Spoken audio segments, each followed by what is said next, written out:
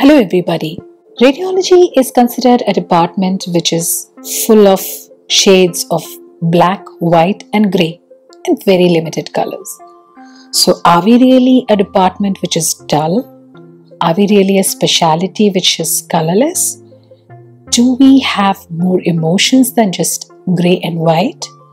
So, let's see how love is in radiology. As usual, I start with a disclaimer this video is made for an entertainment purpose only. All findings could or could not be fictional. If they are true, of course I take credit for it.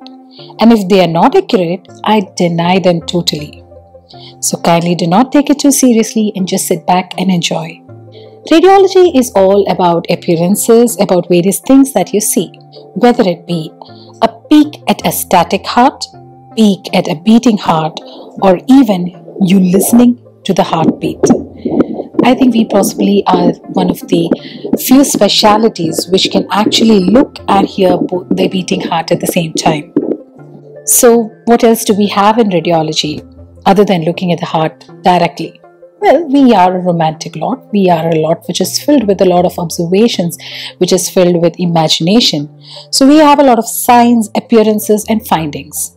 Any love story most of the love stories at least, start with a lot of uh, playfulness and naughtiness, with a wink here and there.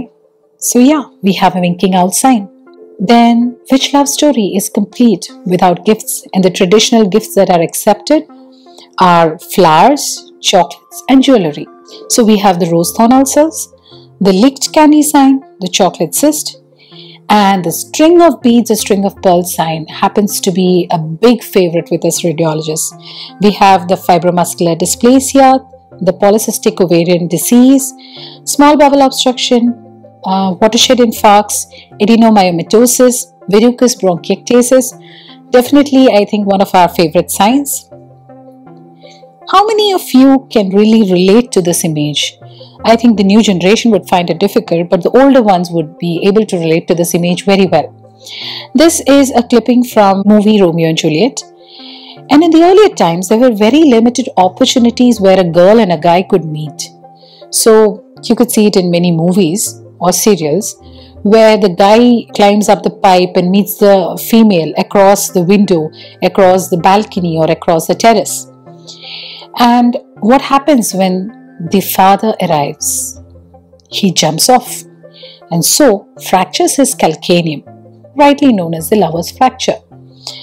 I'm sure the new generation would not be able to relate to this because they live in a virtual world where they can virtually meet practically daily or anytime. So they do not have to go beyond their limits, have all these stunt filled love stories. What is the next stage of our love story? You have the proposal, and so out comes the signet ring sign for us, which is seen in bronchiectasis. So we have a sign for that too. Again, like the string of beads sign, kissing happens to be a very big favorite for us radiologists. So you have the kissing ovaries, you have the kissing tonsils, you have the kissing carotids, the liver and spleen kissing, the kissing contusions, kissing osteophytes, the kissing spine. And if we look at it from a spiritual perspective, the balance between the yin and yang, the male and the female, so, well, we have that too. We have the yin and yang sign in the pseudoaneurysm, the to and fro motion. So, we have that too. What beyond that? So, these are the named eponymous fractures or lesions or signs.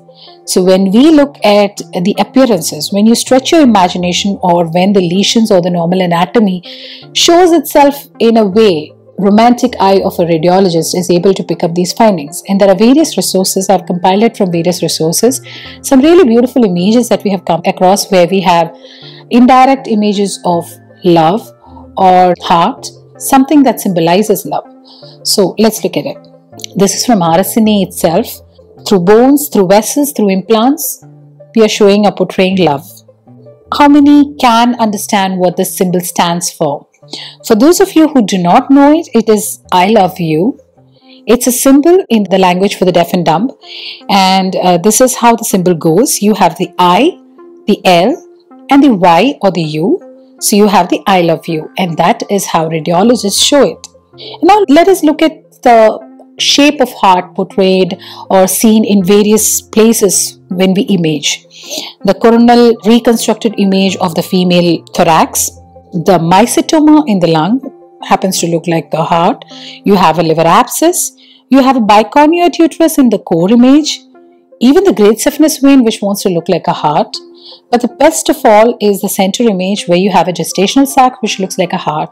Truly a fetus in the heart. You have so many hearts in the brain too. You have it a lymphoma which looks like a heart, an enhancing uh, lesion in the neurosarcoidosis, the brainstem which looks like a heart in an Arnold-Chiari malformation patient, and a brain abscess. If we try to draw the symbol of heart, this is how we would do it, and this is how it would look in an MRI and an X-ray. There's a lot of hearts in the pelvis too now. We have a median lobe hypertrophy, we have the bladder in the shape of a heart, and the small bowel doesn't want to be left behind. So it falls in a way which makes us uh, get the shape of a heart. With all of these people or all of these areas showing the shape of the heart, the musculoskeletal system didn't want to be left far behind.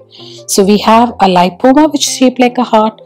We have a popliteal lymph node which is shaped like a heart. So this is all about the various appearances, incidental findings or stretched out imaginations. So now coming to some interesting bit which is uh, some findings which have been put across through various studies. It is not uh, academically appropriate. I would never say that. It is just part of a very a lot of studies and observations that are being made.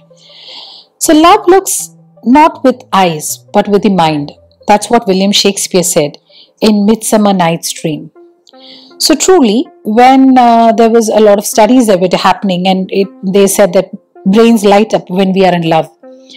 And when the possibility of functional MRI came in, where you could actually assess the functioning of the brain and assess the centers that are involved and be able to pinpoint into the activity or genuinity of the action, I'm sure many people would have been scared because you can actually not feign love. You know, you can actually pick out whether the areas that are lighting up in functional MRI are the areas that are involved in love. So you might be able to say whether the person is in love has fallen out of love or has never been in love. So who knows, maybe the future is where they use functional MRI for sorting out cases of divorces, divorce petitions, infidelity. It might be the future, we never know. So with all this speculation, what do the neuroscientists say? They say that love looks like addiction because when you are in love, when a person is in love, looks at images of the people they are in love, try to develop or think of those emotions, there is heightened activity seen in the ventral tegmental area and caudate nucleus, which is also associated with addiction. No wonder we say that I'm addicted to you when a person is in love. Falling in love reduces your ability to judge Okay, so these are certain areas. Amygdala controls fear, mid-temporal cortex controls the negative emotions, frontal lobe controls judgment, and the posterior cingulate gyrus controls empathy. And love switches off the action of all these centers. No wonder we say love is blind and a person in love is also blinded. The next thing the neuroscientists say is that getting rejected is like going through withdrawal. No wonder we said being in love is like addiction, so getting rejected is like withdrawal. So when you are rejected, you continue to have the activity in the areas where you were in love because you still are in love. But in addition to that, have elevated activity in regions that are linked with craving and distress. That is, the anterior cingulate gyrus and the insular cortex. So truly, when you are rejected, you are in love, you have the emotion of craving and you are in distress. It's so interesting to see how we can figure out our emotions and relate it to the actual neurophysiology and be able to place it neuroanatomically. This is possibly the future, but it's a very interesting thing to know. I'm not sure how academically sound this would be, but this is an interesting fact to know. So basically, happiness comes from small, small moments, small, small incidents. So learn to appreciate it.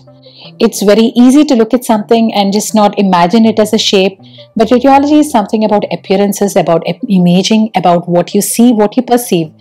So be a child again, imagine things, learn to love the smaller moments in life. So we can make radiology a beautiful place. We can enjoy radiology. We can make it love filled. So fill your life, your uh, profession with love and laughter.